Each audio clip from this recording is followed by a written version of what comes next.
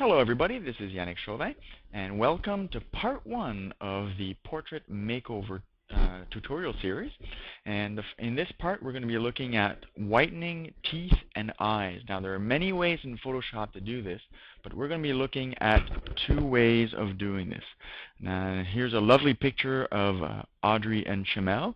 They're both professional dancers from Les Ballets Jazz de Montréal.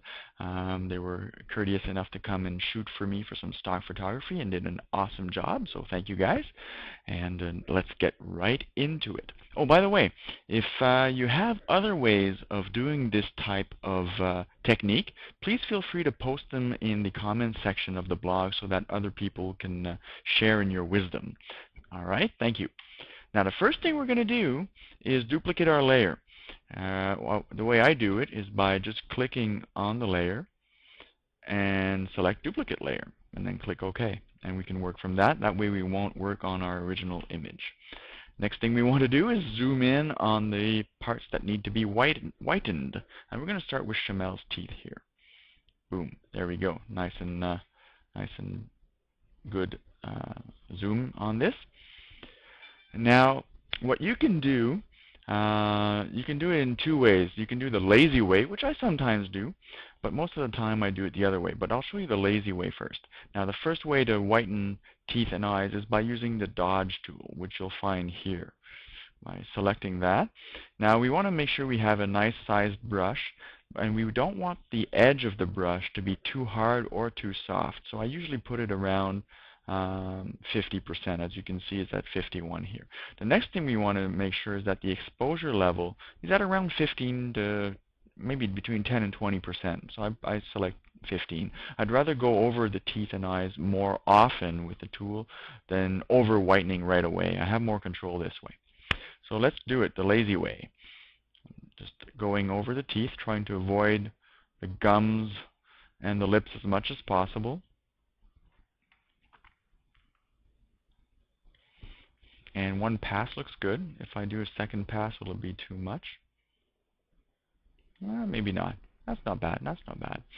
So it's not super precise, but it does the job. If you if you, we back up by double clicking on the hand tool to get the general view of the picture, we we get a nice view. We can look at the before and after, and it's looking good. Now zooming back, what we should do if we're uh, more meticulous, is to select our teeth with the selection tool and then doing the dodge. So we can do that by clicking either the polygonal tool uh, or the lasso tool. Now if you have a Wacom tablet, probably the lasso tool will, will work well. Uh. And if not, uh, like me, if you're using a mouse, um, you use the polygonal tool and always use a feather of one pixel so that the edge isn't too hard.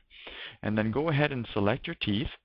Now um, I'll be doing a transition here and I, I, won't be doing a perfect job but uh, to save some time uh, you'll see the magic of video editing and uh, by the time uh, we're here it'll be done.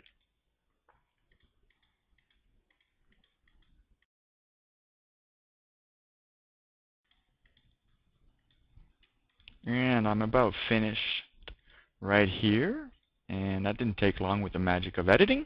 Now once you have your selection done as precisely as possible, you can just go into your dodge tool and then without even worrying about overflowing uh, outside on the gums and lips, you just do, do your magic. And there you go. Uh, and you can just control D for deselect and you can see what you've done. You can zoom back out again by double clicking on the hand before and after and going yeah I like that. Now let's zoom back in. I'll make sure that my selection is done. And I'll show you the second way of doing this lovely technique. Now instead of using the dodge tool, we'll be using the curves adjustment uh, tool. By going into image adjustments, and you can select curves or do control M on the PC or command M on the Mac. Now what you want to do is bring your curves up remember not too much. You don't want to overdo it when you're whitening teeth and eyes because it'll look unnatural. And you don't want to have that alien um, fluorescent white teeth and eyes going there. I, I've seen so many shots that have been retouched that way and it just looks so unnatural. So be very, very gentle with your adjustments when you're doing that. You want to make sure that it looks normal. All right? And once you have something good, you can click on the preview to see before and after and you say, yeah, I like it. Good. Now, one other thing that you might find, if you have pictures of people uh, with uh, more yellow in their teeth, either smokers or big coffee drinkers or or Coke drinkers, they might have a tendency of having more of a yellowish tint to their teeth, and you want to remove that. And the way you can do that is by going to Image Adjustments and Hue Saturation, or Control U or Command U on the Mac. And you just want to bring the saturation down to between 30 and 50%, sometimes even a bit more on other people, but in this case here, Chamel has pretty nice teeth to start off with. So 40% we look before and after and we click OK. And there we go. Control D to deselect or Command D on a Mac. Zoom out and there we go. Before and after. Looking good. And that's how we do the teeth. Now, of course, doing the eyes is the same thing, except it's a different selection. But I, I want to do at least one eye so you guys can see what it's all about. Again, I'm going to, you can do it the lazy way again, but it, for the eyes, it's it's a bit uh, it's a bit more difficult, um, but I have done it before the lazy way. Uh, you might want to start with a smaller brush and then paint in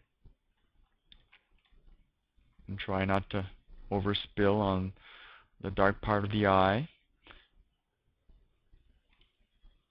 And again, you don't want to overdo it when you're doing eyes. All right, you can see before and after, and that's looking good.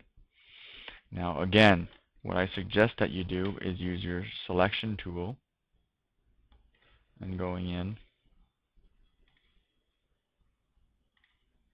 and selecting your eye.